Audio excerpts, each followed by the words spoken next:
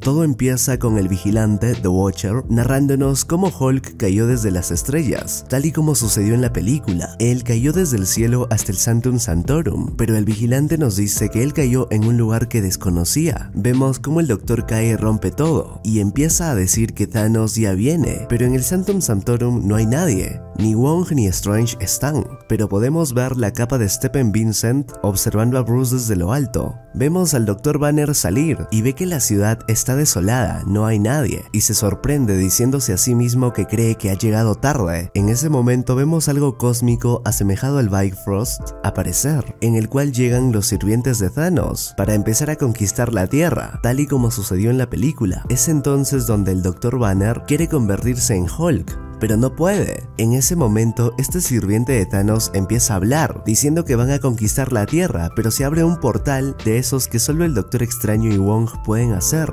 Aparece la mano de Iron Man y golpea al sujeto. Bruce Banner está muy feliz y le dice, Tony, ¿en serio? Por fin has llegado.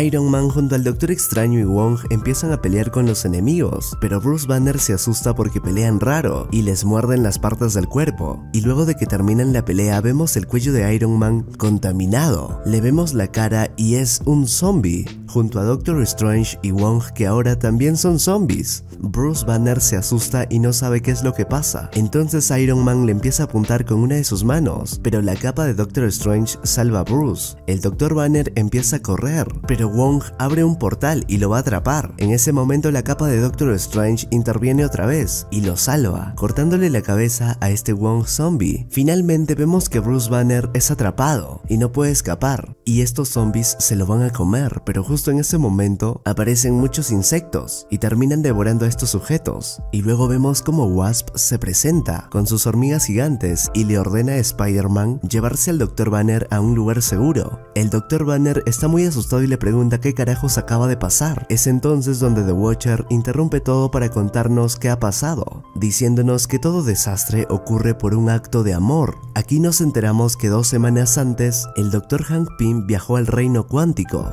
Viajó en búsqueda de su amada esposa perdida, su esposa Janet que había quedado presa en este reino durante varias décadas. Pero en este universo, Janet Van Dyne contrajo un virus cuántico que alteró su cerebro. Y cuando por fin se reunió con su esposo después de más de 30 largos años, Janet terminó contagiándole el virus a Hank Pym. Tristemente regresaron al reino normal y la reunión familiar jamás pasó. Hope abrió la cápsula, pero de ella solo salió un zombie, pero Hope logró hacerse pequeña y estos zombies terminaron infectando a Scott Lang. Este virus se expandió por todo el noroeste del Pacífico, así que los Vengadores al enterarse de todo esto salieron a hacer algo, pero en ese momento vemos a Ant-Man, pero versión zombie, morderle el cuello al Capitán América sin que éste se dé cuenta. Cuando él siente la mordida es muy tarde, y vemos cómo los héroes más poderosos terminaron uniéndose a los infectados, y The Watcher termina esta parte diciéndonos que nadie más pudo salvarse, a menos que conocieran las reglas. Aquí nos presentan este póster, So you wanna survive the zombie apocalypse, así que quieres sobrevivir al apocalipsis zombie. Aquí vemos a Peter Parker haciendo un videoblog, diciendo que los edificios ahora están llenos de zombies, que donde antes habían prostitutas, ahora solo te vas a llevar ese virus, y que si sobrevives en este lugar, sobrevives a todo. Aquí vemos a Happy, ayudándole a Peter a hacer su video, y nos explica con este sujeto llamado Kurt que el virus se transmite a través de la saliva. Peter dice que entre menos piel se te vea, menos te morderán, y nos dice que el paso 2 para no ser mordidos es la higiene, que a los zombies les atrae el olor de la carne humana, y que la solución es liberar menos feromonas. Y tienen un spray para hacer esto, pero no funcionará. Aquí vemos a Bucky Barnes, el soldado del invierno, y Peter termina diciéndonos que es importante solo apuntar a la cabeza. En la siguiente escena vemos llegar a la general Okoye, de la Zora Milash, de la Guardia Real de Wakanda. El Dr. Banner le dice que no era que venga porque la situación que están pasando es crítica, pero ella les dice que T'Challa ha desaparecido hace semanas y que por eso ha venido. Estamos con toda la resistencia y nos dicen que un grupo secreto de sobrevivientes está a punto de encontrar una cura. Empiezan a analizar esta señal pero se dan cuenta que está corrompida. Entonces deducen que la señal vino de una antigua base de SHIELD,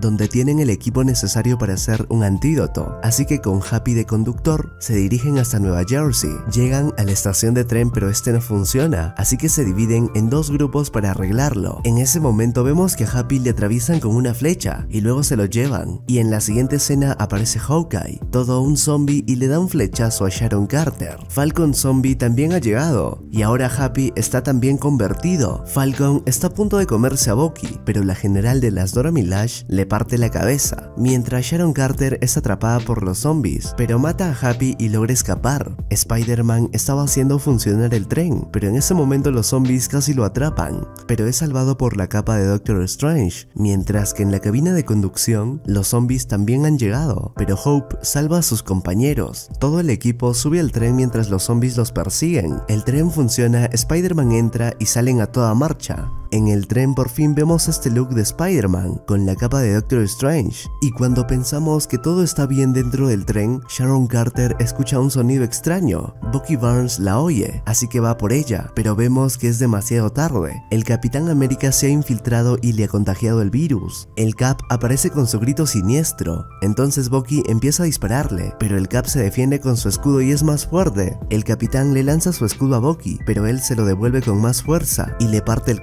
haciendo que caiga a los rieles del tren, y luego toma su escudo. Hope se hace grande y mata a Sharon, que estaba contaminada, pero ella se hizo un corte, y vemos al tren pasar bajo la mirada de The Watcher, que todo lo ve. Tanto ver estas escenas les juro que yo hago las cosas y ya siento que el vigilante me está viendo lo que hago, puta madre. El Dr. Banner revisa a Hope, ya que está contaminada y ahora no le queda de otra y se convertirá en una zombie. Peter le da palabras de aliento a Hope que está contaminada con el virus de zombies, y Peter nos cuenta la muerte de sus familiares cercanos, como la del tío Ben, también la muerte de Tony Stark, y todo el equipo tiene una conversación muy emotiva. Es entonces donde el combustible del tren se termina y quedan varados en medio de la nada y en medio de una gran horda de zombies. Entonces Hope se quiere sacrificar porque dice que es su culpa que todos ahora estén convertidos en zombies, porque quiso salvar a su madre del reino cuántico y trajo ese virus. Y vemos a Hope hacerse gigante y ayudar al equipo a pasar al otro lado, mientras ella va pisoteando a los zombies. Los zombies trepan en el cuerpo de Hope gigante, pero ella logra hacer que sus amigos pasen al otro lado. Y vemos como uno de estos zombies le rompen la luna de su casco y Hope cae, se desploma ante la mirada atónita de todos sus compañeros. Todo el equipo está muy triste, pero deciden continuar. Es entonces donde se dan cuenta que los zombies no pasan electricidad, pero están parados observándolos. En ese momento aparece Visión y asusta a Peter. El Dr. Bruce Banner está muy feliz y lo abraza. Es entonces donde Vision empieza a contarnos la verdad. Vision no puede ser contagiado porque es un androide. Nos dice que la gema de la mente emite una subfrecuencia que aleja a los zombies y nos dice que la infección es una especie de encefalopatía. Vision continúa su relato diciendo que el virus cambia el sistema límbico del cerebro. La verdad esta parte no la entiendo mucho ya. Y nos dice que ha estado experimentando la regresión. En ese momento escuchamos la voz de Scott Lang, con quien Vision ha estado experimentando el antídoto. Y vemos vemos que tan solo tiene su cabeza. Vemos que Scott Lang volvió a ser humano. Entonces el Dr. Bruce Banner dice que hay que expandir la frecuencia de la gema por todo el mundo para revertir los efectos del virus zombie en todas las personas. Pero Vision dice que la tecnología humana no alcanza para tanto. Entonces la líder de las Dora Milaje de Wakanda se ofrece con toda su tecnología. Entonces Bucky Barnes empieza a buscar transporte, se adentra en las oscuras instalaciones del lugar y el Dr. Bruce Banner se da cuenta que ellos no han sido los únicos que han venido por esa señal que han recibido, mientras que Bucky Barnes continúa caminando por estos pasillos oscuros y encuentra a una especie de bruja zombie. Él le dispara, pero escucha la voz de T'Challa, quien le dice que no la haga enojar. Entonces él le dice que todo esto es una trampa y que deben huir, mientras que a Bruce Banner, Vision le dice que jamás hubiesen llegado aquí, porque esto es una trampa. Enseguida llega Bucky Barnes con el rey T'Challa y nos enteramos que la bruja zombie de allí dentro es la bruja escarlata, que está sedienta de carne humana y que Visión le ha estado trayendo personas. Peter le dice, ¿es en serio Visión? ¿Curaste a Scott Lang pero no curaste a Wanda? Es entonces donde él nos aclara que sus poderes son muy fuertes, que la única opción posible es contenerla, pero justo en ese momento Wanda despierta y Visión dice que ella no ha comido en días y que está muy sedienta de carne humana, así que vemos cómo sale y vemos cómo destroza la puerta. Wanda se traga a este sujeto y empieza a luchar con todo el equipo. Todos logran salir con la ayuda de Visión, menos la líder de las Dora Milaje, quien es atrapada por la bruja escarlata. En ese momento Visión les dice que no les queda mucho tiempo y que deben ir al hangar, que hay un jet, y él decide quedarse para contener a Wanda, pero no puede porque dice que la ama, entonces se suicida. Vemos cómo se saca la piedra de la mente. La gema bota mucho poder cuando se la saca y él cae tirado al piso, sin vida, y al hacerlo los zombies ya no tienen ninguna contención y empiezan a venir hacia ellos.